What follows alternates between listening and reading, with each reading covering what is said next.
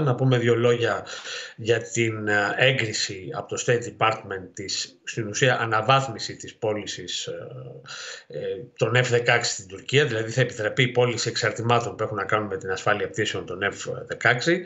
ε, αξίας 259 εκατομμύριων δολαρίων. Ε, μένει βέβαια αυτή η απόφαση του State Department να εγκριθεί και από το Κογκρέσο, που ξέρουμε ότι υπάρχουν έντονες διαφωνίες για το κατά πόσο πρέπει να υπάρξει αυτή η αναβάθμιση λόγω της γενικότερης τάση της Τουρκίας. Και βέβαια η απόφαση αυτή του State Department προφανώς συνδέεται με την πρόσφατη απόφαση της Τουρκίας αφενός να εγκρίνει την ένταξη της Φιλανδίας στο ΝΑΤΟ και αφετέρου είναι και μια κίνηση καλής ε, θέλησης προς την Άγκυρα, ώστε μετά τις εκλογές η κυβέρνηση που θα προκύψει από τις τουρκικές εκλογές να προχωρήσει σύντομα και στην έγκριση της ένταξης ε, της Σουηδίας στο ΝΑΤΟ.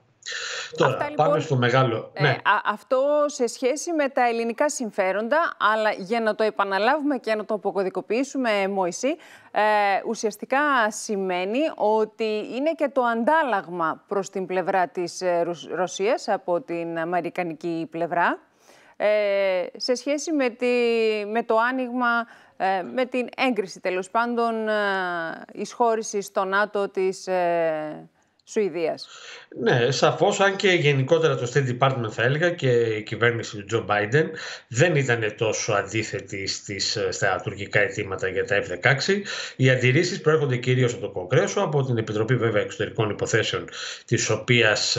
ηγείται ο γνωστός γερουσιαστής, ο Μενέντες, και γενικά τις επιφυλάξεις που έχουν αρκετοί γερουσιαστές ως προς την ευρύτερη, θα έλεγα, στάση της Τουρκίας, όχι μόνο απέναντι στη χώρα μας, απέναντι στις εξελίξεις στην Ανατολική Μεσόγειο, στη Συρία και άλλα μεγάλα ζητήματα ζητήματα που έχουν προκαλέσει τριβές τον τελευταίο καιρό, τα τελευταία χρόνια μεταξύ Άγκυρας και Ουάσιγκτον.